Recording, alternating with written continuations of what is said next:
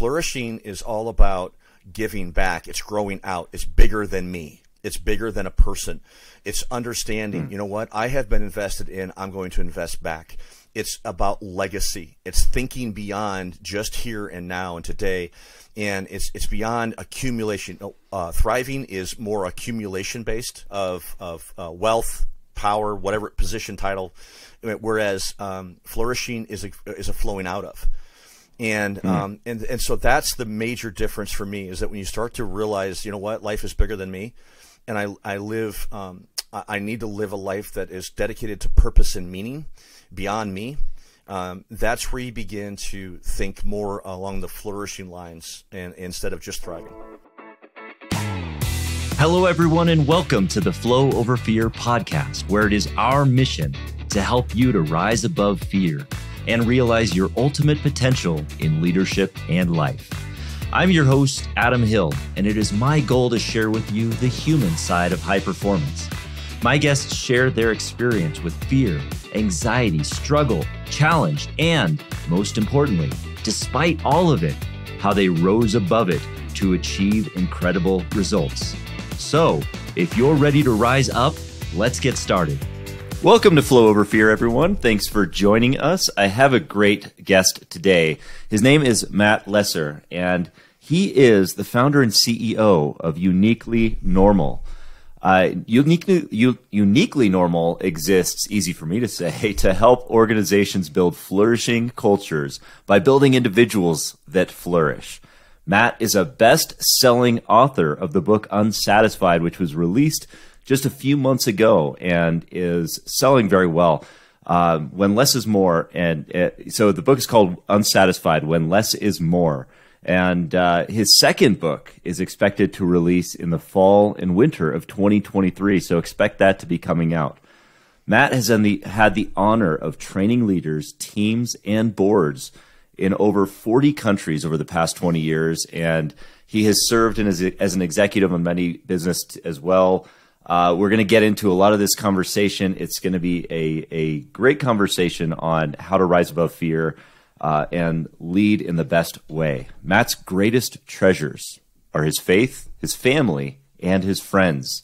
He resides in Northeast Indiana with his family, and he joins us today. Thank you, Matt, for joining us. I'm great to have you here. Thank you, Adam. Thank you for having me. Great to be here. Absolutely. So I want to kind of dive in a little bit with with your history. Yep. As you know, you've written a book. You you're training leaders, and you have uh, you have a pretty amazing story and amazing background, having served as a leader yourself. How did you get into the leadership that you're in, and, and kind of get into that idea of training leaders? Yeah, that's a that's a great question, Adam. And um, to to get to get there, I need to rewind uh, really back to the start of my career, if you will, and and that is um, after after I graduated from college. I went to college. Um, I was one of those those weird kids that when I went to college, I knew exactly what I wanted to study and going in the door, and I didn't deviate. So I didn't change my major, didn't change my minors, and uh, and so and I wanted to study business. And uh, so I graduated from business and I went into the family business, which is something that, um, as I w- when I went to, into college, I thought that's what I wanted to do, but by the time I graduated, I didn't want to do. Uh, but yet, that's where I wound mm. up. Hmm. So needed a job, and hey, there was a job, so I took it. Um, a year into that, uh, I literally went to my my dad and and and uh, said, Dad um, this isn't working, and uh, one of us needs to go, and it's probably not going to be uh, you because you own the stock. So uh, I'm going to leave and go to grad school and figure figure this thing called life out. And uh, never forget that conversation. Mm-hmm. And my dad said, "Sit down." And my dad, big guy, played football in college, and so I sat down. And he said, uh, "He said, actually, he says, I, I, I am leaving," and he did. And on the way out the door, he literally just signed the business over to me and uh, he left, and uh, and and I took over, and so it was it was one of those things that uh, academics has uh, always come easy to me, and so therefore I mm-hmm. thought that this thing called business would as well. I mean, heck, I studied it in college, and so hey, why not? And boy. Um, I've often said now that I went to college to get my degree and went into business to get my education.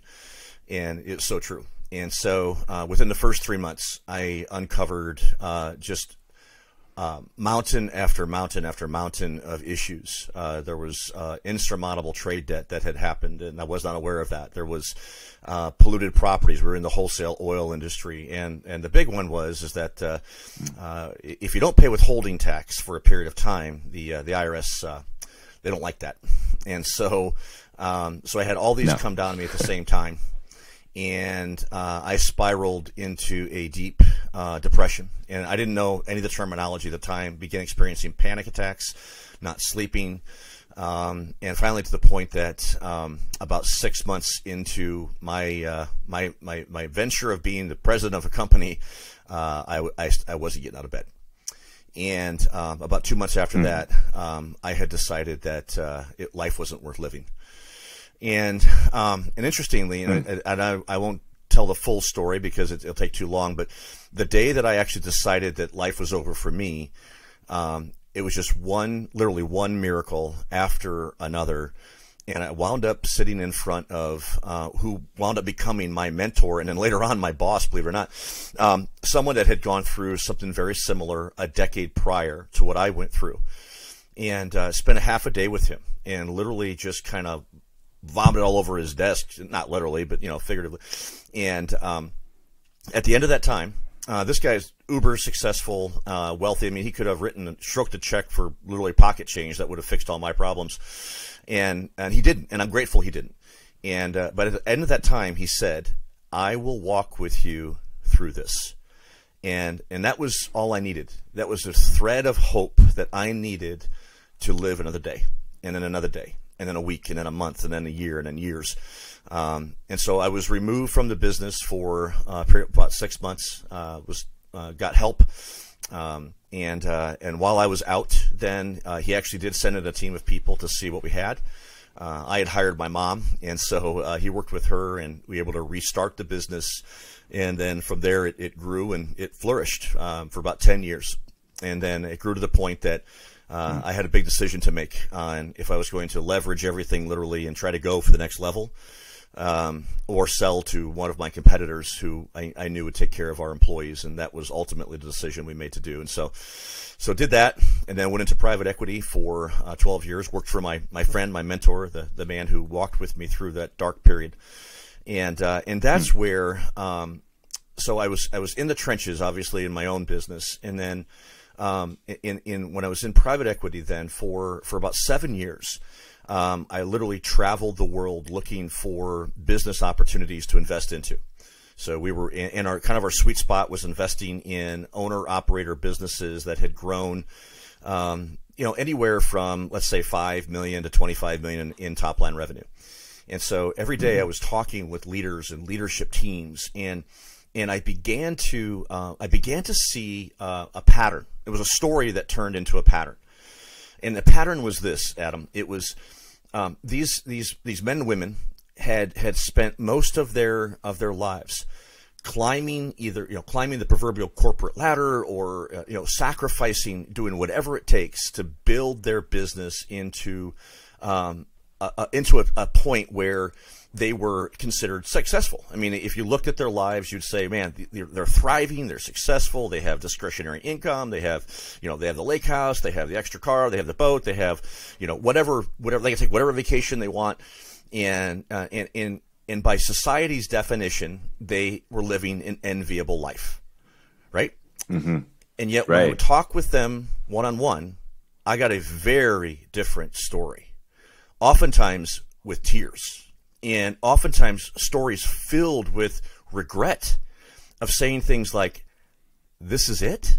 I have worked all this mm-hmm. and I've sacrificed. Oftentimes it was I sacrificed my marriage, sacrificed my kids, sacrificed, you know, whatever it might be. And um, for what? And and literally it was this is it. And so they became um, so disillusioned that they either didn't want to be in business anymore, and so that's where you know I had the opportunity then, obviously being in private equity, to invest in the business, buy the business, whatever, um, and so that they could try to then make up for all that lost time, and mm-hmm. at least that's the perception anyway. And so um, that's what, um, again, that that happened many different. It happened many times on different continents, different countries. So it wasn't just a U.S. thing. Um, or just a European thing, which U.S. and European culture are very similar. Um, but I saw this, you know, in Africa as well, and so it's like, okay, so what, hmm. what is that, and what can be done differently? And and and it got to the point too that I was in a similar situation in my own life. You know, I was climbing the corporate ladder at this at this private equity firm, and but I was starting to ask those same questions. Like, wait a minute, I don't want to get into my late forties, fifties, and climb the ladder, get to the top, and say, "This is it," or "Man, I climbed the wrong ladder," right? Sure. And so I began to write about it, and that's how really that's how the book un, uh, "Unsatisfied" was birthed, at least in my mind. So is that helpful? Gotcha. Absolutely, yes. So the so the so the book that you've written, uh, the Un- Unsatisfied, which was recently released, is all about that story of kind of how you came up into you know from that, and that's there. There's a lot of fascinating things in here, and a lot I can relate to personally because you kind of took you took over an oil company or, or a, a petroleum business, you know, a year after graduating college and so kind of got thrown into the fire right after that and then oh, yeah. um, and then that led to some depression i took over the family business which we're a chemical company huh. so i can relate to a lot of that we have the same similar kind of background with the uh, uh, panic attacks anxiety um, fortunately for for me i guess I, i'd experienced that earlier and and spent enough time in the family business that when i became uh, the leader in that role it had uh, it had um, uh, I, you know, I'd been with the company long enough, so I knew what was going on. I knew that there were changes that needed to be made, but that's a difficult thing. That's a hard thing to get thrown into. Um, it sounds like, you know, the idea of having a mentor or somebody that can help you through that or walk with you through it, as you say, was a really helpful piece to that to kind of get you out of it and onto the other side. Is that does that is that accurate? Oh my, um, yeah, and I, uh, I, I could not, I wouldn't be who I am today without the the men that have invested into me literally since I was a teenager, and um, mm-hmm. and I, I cannot, I cannot, I can't emphasize that enough. I mean, even to the point that today, when I started my business um, about a year and a half ago, a little over a year and a half ago now, um, I had a, uh, a, a wise mentor. He's a wise guy. I mean, he's 82. He's one of my favorite people in the world. 82 years old. Absolutely no filter whatsoever. I love that about him. And uh, he, he right. came to. We served on a board together. That's how we met. And so he came to me when he found out that I was going to start my business, and he said, uh, he said, Matthew, don't do it alone. And uh, I said, what? So what, what do you mean? And he said, I said, I can't afford to. I said, I'm starting up, man. I can't afford to hire anybody. And uh, he said, put together a personal board of directors. And I just said, What's that? Mm. And he said, Find four or five people that you know love you and care about you and care about you enough that they will speak truth to you even when it hurts. Um, because that's the time mm. you need to hear it the most. And so I said, Okay, I'll do it. And you're member number one, right? And, and he agreed.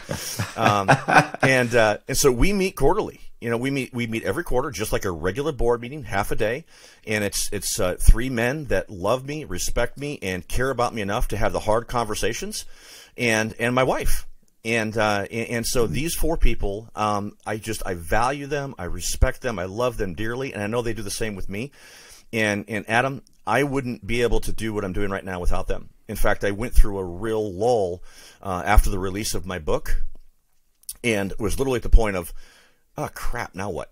You know, the book just came out. What, am I, what am I, doing now?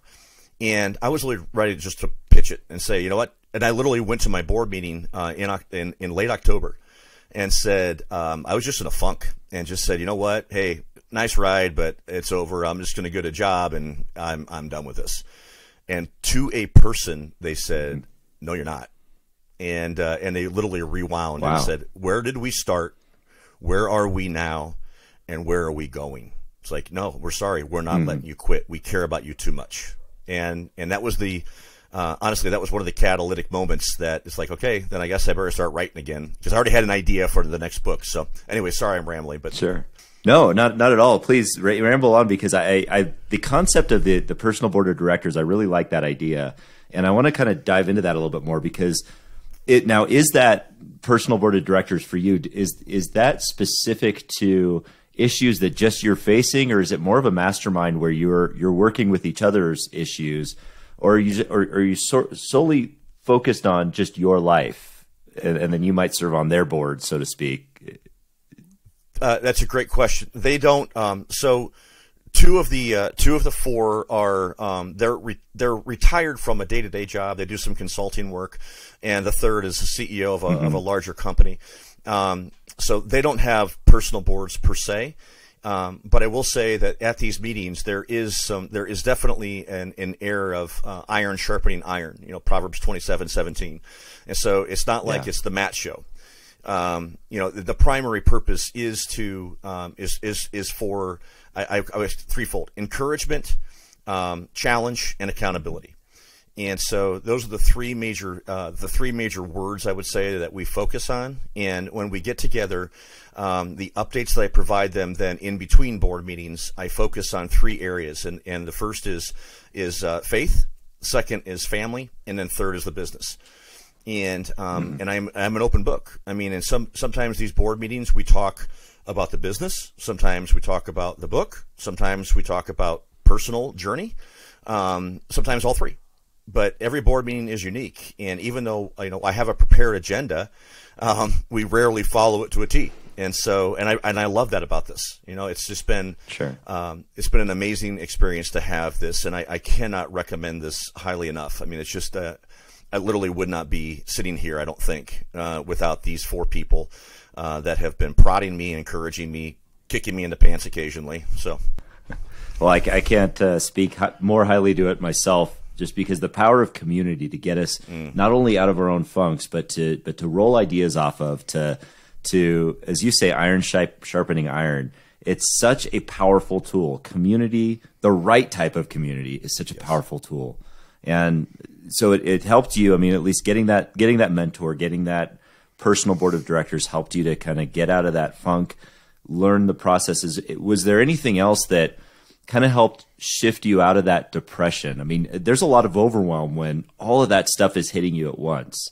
You know, we've just taken over a business. A lot of this stuff is is hitting you.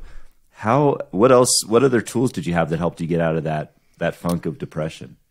Uh, wow, it was. Um, so I would say there were probably two or three major um, major things that that happened. One was um, the counselor that I was assigned to, um, and uh, and literally was assigned to, and so never I didn't know this guy from uh, from the Man in the Moon, and uh, he wound up walking with me for over six years, and actually it was just me me and my wife. Um, when this all happened, I should have mentioned my wife and I had only been married for a year. So I mean, it was a uh, it was, wow. So it rocked our marriage as well as you can imagine. And so, um, sure. so I, I, look back on this now. We both do, and look back on this on that time period and say, you know, really, it was um, there was a whole lot of God's grace and mercy in that because I knew who I was at that time, and I knew um, my flaws, and I, I, had some fatal flaws, and and those mm. flaws most likely would have train wrecked my marriage. Now I can't say that for sure, um, but I'm very grateful that I went through that. I mean, I don't want to repeat it necessarily, but I would if that's what it takes. Um, so the hmm. counselors one. Second was um, I was medicated. I was medicated for um, uh, the better part of two years, and quite heavily at first mm-hmm. because mm-hmm. my brain chemicals were so out of whack.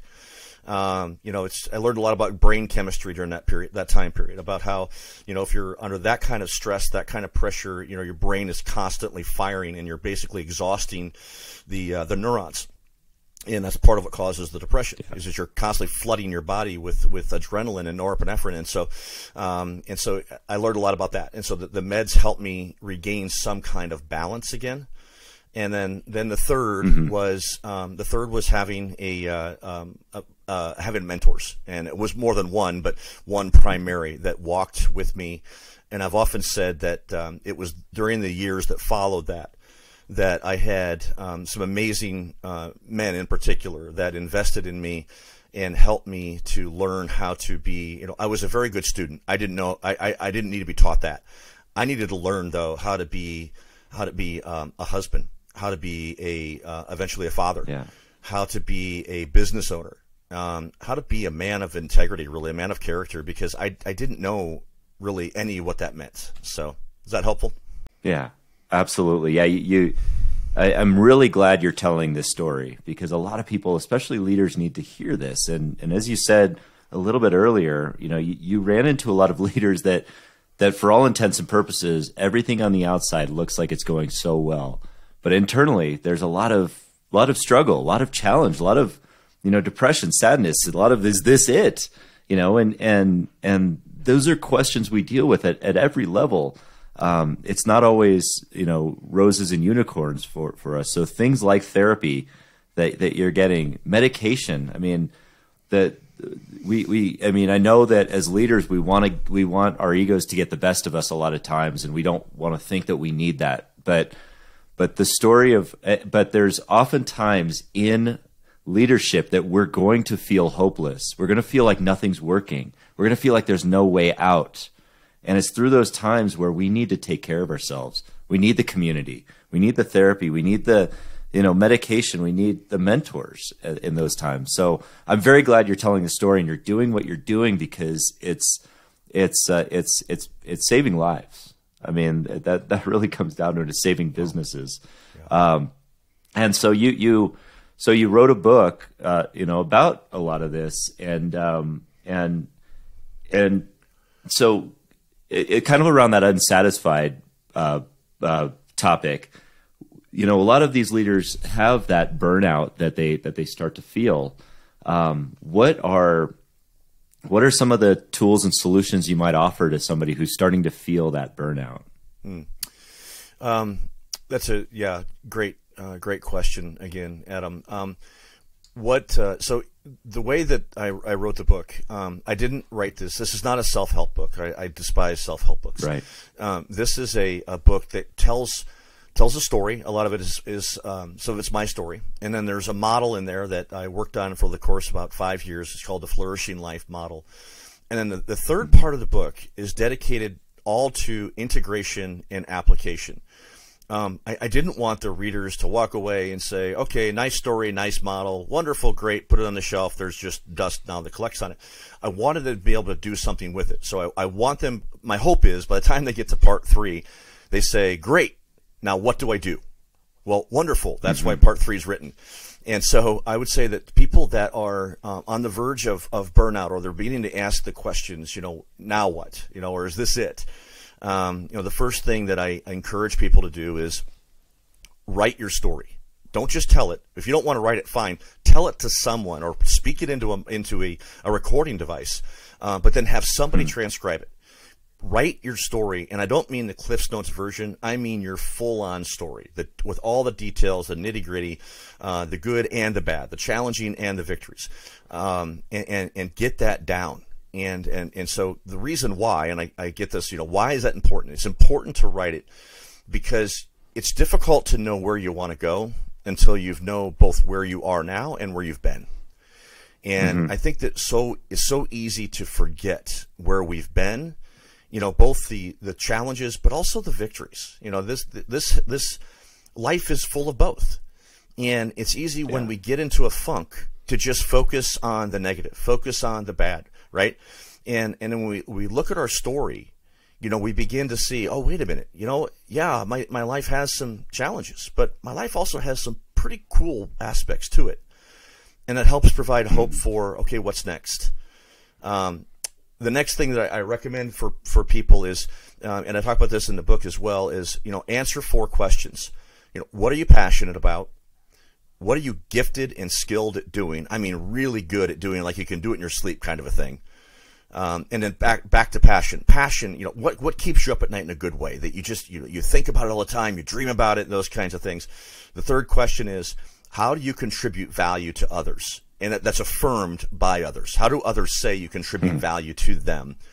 And the fourth one is your calling you know what do you feel called to do what is what is your your dream what is that thing that is constantly nagging at you that you just can't get away from and in the intersection of those four is is a place where you can um, begin to intentionally live a flourishing life or at least you're on the journey toward a flourishing life and so gotcha. um, but it really starts with you know you have to know yourself so that's why story is so important and then I give some mm-hmm. other other things in the in the in part three. You know, take some assessments. You know, get really get to know yourself. Um, ask the questions. You know, what is your why? You know, why are you here? What's your purpose? And then one mm-hmm. of my favorite exercises is to think about your legacy. So fast forward to the end of your life and look back on it. Hopefully, it's a long-lived, well, good life, and and you're looking back on it and you, you imagine yourself. It's kind of morbid, but hey, it works. Imagine yourself sitting in your own funeral. What are the three things you most want said about you? And whenever I've done this mm-hmm. exercise, I never hear, "I wish I had more zeros in my bank account." You know, I wish I had a bigger business, or I wish yeah. I had more cars, or it's usually things like I wish I spent more time with my family. You know, wish I had taken that vacation I promised. Yeah. Wish I had, you know, those kinds of things. So, I I love that exercise too. That the one of looking back on your of looking forward and looking back on your life because it it's something that I've done pretty frequently. And I I, I recall uh, once watching. Uh, uh, I think Jimmy Carter had a health scare many years ago, and regardless of what anybody thinks about the politics of it, you know, just thinking Jimmy Carter's a, a pretty, you know, he's in his 90s, I believe but he had a health scare where he was pretty close to death at one point. And um, and having come back from it, he was sitting in an interview chair, and somebody asked him, "Well, what were you thinking at that time?" And I remember seeing his face just light up, and he smiled. And who smiles when they think of themselves about to die?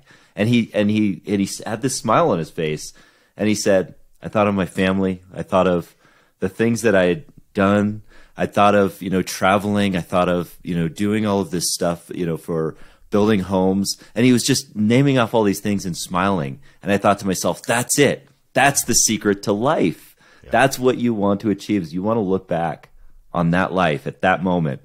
And uh, so that's such a powerful tool. And, and I also love the idea of writing your story because, you know, um, just the idea of, of, of t- of remembering those points in time, as you say, that that you might have forgotten, especially when they get lost in all of the day to day that you know you, you tend to you know feel all the negative.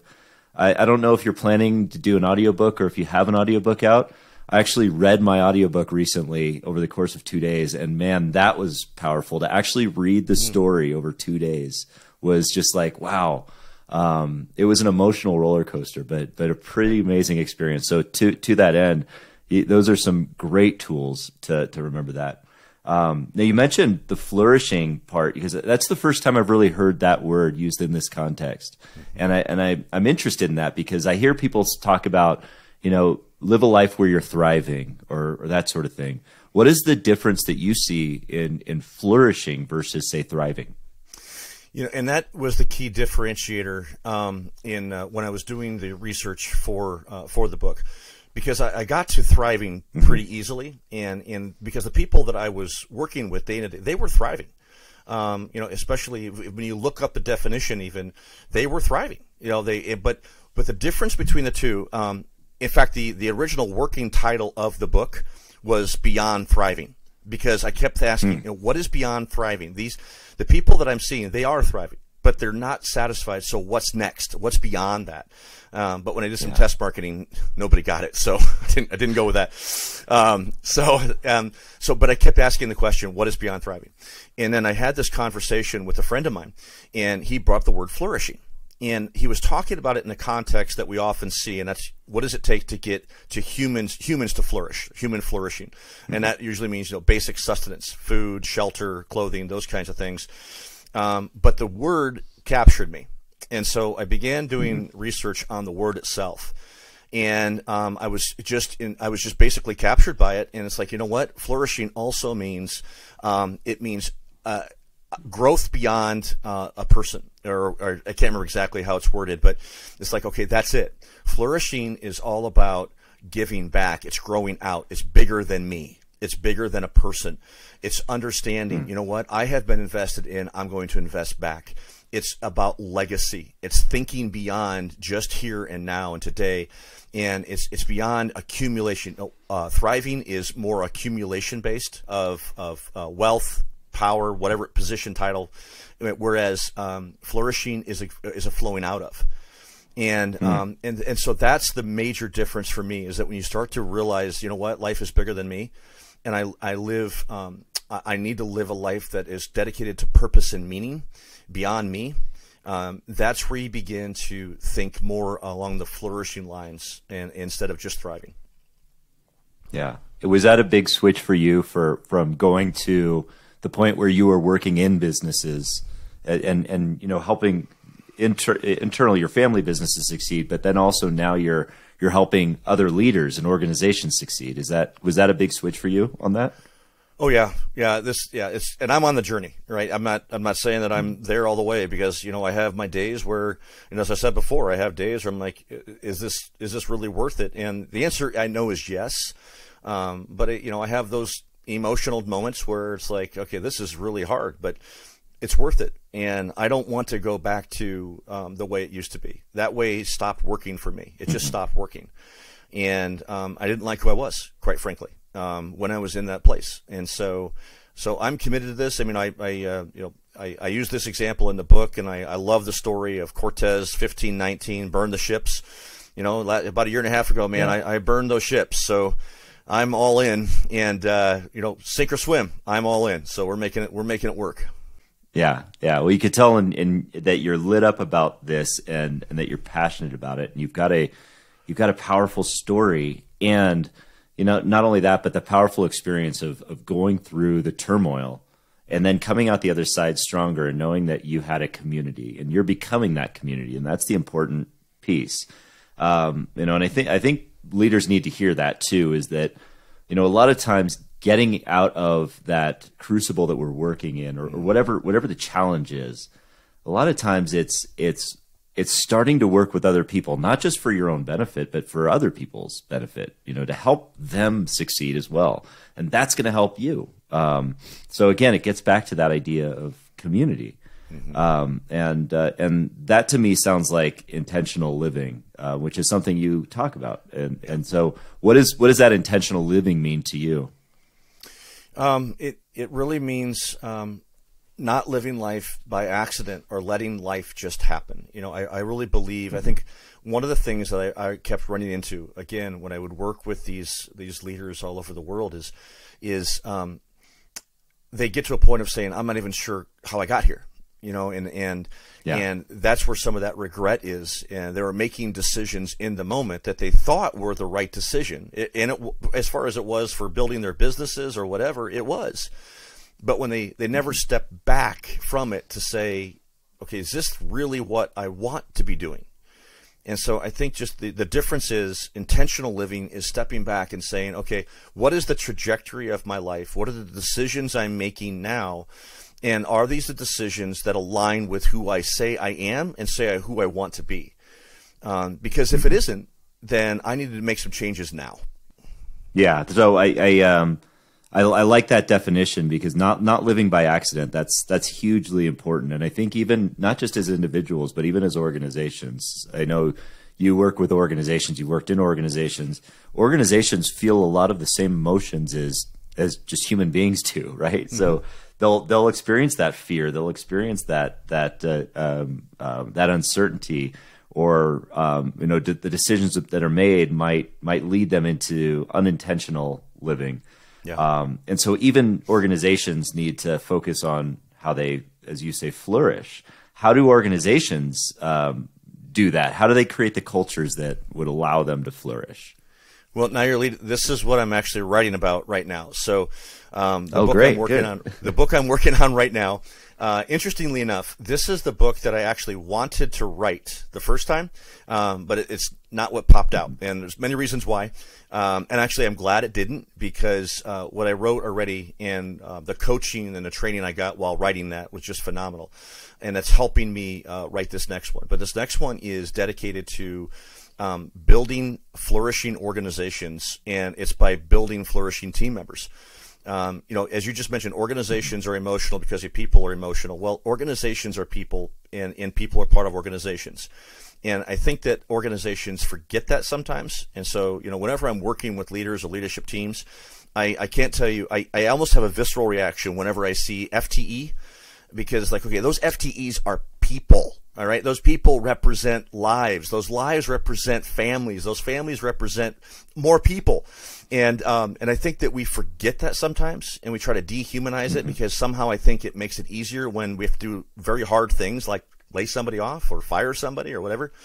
And I get that, but it, it doesn't change the fact that um, we have responsibilities as leaders. And I think that's a great responsibility. I think leadership is a wonderful responsibility, but it's also a tremendous burden. And so, and I think that we have a responsibility to do it well. And that means mm-hmm. that we do the best we can to work with our team members, those people that work with us and for us, um, to help them become flourishing. So, because when people flourish, organizations flourish. But when we treat people like they're not people, like they're just a, you know, a, like just hired help or whatever words you want to put around that, and and and we treat them like they're less than, then we get less mm-hmm. than, right? And so I, um, I'm doing the best I can with people that I can influence and, and ha- have an influence with to th- redo your thinking on that and think about your people in terms of how can I help my people flourish? Because when they flourish, the organization will flourish. So that's yeah where I'm focused right now. Well, that's great. I'm looking forward to that coming out. How do you how do you focus? Um, so as, as a leader, how do you how do you find that balance though of, of really looking at the human side of of of the business uh, uh, and and you know making sure you're holding people accountable that's that's that, that's always a challenge for some leaders is is maybe not going too far towards the end of yeah you know maybe taking care of the biz of the people so to speak yeah and um, I, you're right and I think that not holding people accountable is uh, is not kind because when when somebody mm. is not producing like they should be producing then I think that we have to look at one of it's one of four reasons one of five reasons so either they're not properly trained they don't have the proper tools or resources they need to do the job. They don't have the skills to do the job. Or they don't have the desire or the willingness to do the job. The 1st mm-hmm. three are on the organization, right? So they need to make sure they're properly trained, they have the tools they need, and that they um, that they hire people with the proper skills, or they they give them the skills they need. But if somebody doesn't have the desire or the um, or the des- the desire or the uh, whatever I just said, sorry, um, the ability, not the ability, the skills, yeah, yeah, yeah, whatever. they don't have the desire to do the job. I can't do much with that. And so it's not fair right. and it's not kind if I don't hold that person accountable for the job that they do. And if they're not getting the results that, that is necessary for that role, then again, it's not kind if I don't address that and, and help them mm-hmm. either become successful in their role, find a different role where they can be successful, or allow them to succeed at a different organization. That's all kind, and you can do yeah. that in a kind way. That's a great point, and I, I, I love that perspective because um, you know I think a lot of uh, uh, many leaders may ignore that idea of, of, holding people accountable because they don't want to rock the boat, they don't want to hurt somebody's feelings, but in reality they're just protecting themselves. And I'm yeah. guilty of this too. You know, it, it's it's a scary thing to have to confront someone with the realities of of the business or, or hold them accountable. But you're also right; it's the kind thing, and that kindness oftentimes takes courage. So yeah. that's that's that's huge. I, I, I think it's important. And I think many times, Adam, that okay. um, you know if people are not being successful in their in their role, you know most people know it, and and they're doing the best they can to to kind of fake it till they make it. But many times they just don't make it. Yeah. But yet they're they're scared. They don't want to lose their job, and uh, they don't want to admit it because they don't lose their job. so, um, right. so having the conversation, from my perspective, is the kind thing to do. And yeah, it's the hard thing to do, but I think it's the kind thing to do. Yeah, that's a that's a great point. Oh, I'm looking forward to that next book that's coming out. What's it What's it called? Or do you have a name for it yet? Um, I have a working title. Uh, I don't know where it's going to wind up yet, but I'm taking the same un theme. So right now it's called Unengaged, uh, building engaged and flourishing organizations or teams. I'm not gotcha. sure which. And that's coming. Still working on it. Okay, and that's coming out next year. Yes, yes, that's the plan. Yeah, great. I'm, um, I'm about three quarters of the way through the manuscript right now, and uh, hopefully finish that up and then get into the publishing process here. Hopefully Q1. Nice, excellent, and um, so I want to I want to kind of take a step back uh, to as we kind of close out here. I wanted to ask you when you um, when you think of that time when you were first starting out, because I was I'm picturing you as you're just getting married, because it sounds like you were getting married and you were starting this position as president of, of your family business at the same time. It sounds like a very, very exciting time for you. Um, and I, I would love to know that if if with all of your experience that you've had thus far in your life, if you can go back and tell that person who's kind of standing at the altar, you know, getting married, starting this new new uh, position, if you could tell that person one thing, what would that be? Um, I only get one. um, I, well, you could anything you'd like. Yeah. um, acknowledge, not not even acknowledge. It's stronger than acknowledge. Um, uh, own that you need God and you need others in your life. Hmm. That's I a was great, highly, highly great... independent at that time, and I was arrogant. Yeah. So you thought you could do it all on your own with the, I really with the business? I really did. And yeah. It was part of my own hubris that uh, because I didn't ask for help, and it, yeah. Well, I wonder how many how many of the listeners, how many people out there are um, feeling that way too, or feeling like they're the burden that the weight of everything that's on their shoulders right now is just too much because they're carrying too much and they're not asking for that help. They're not finding that help elsewhere. And I wonder how many people, you know, and, I, and I'm excited to see how many people you're going to help through that process because of how many people need it and see that what you're doing in the world based on your experience and, and, and what you've done is going to change their lives. So I'm, I'm excited for that. I'm excited for what you are going to show to people um, how can people find you and, and where can they find you? Where can they reach out?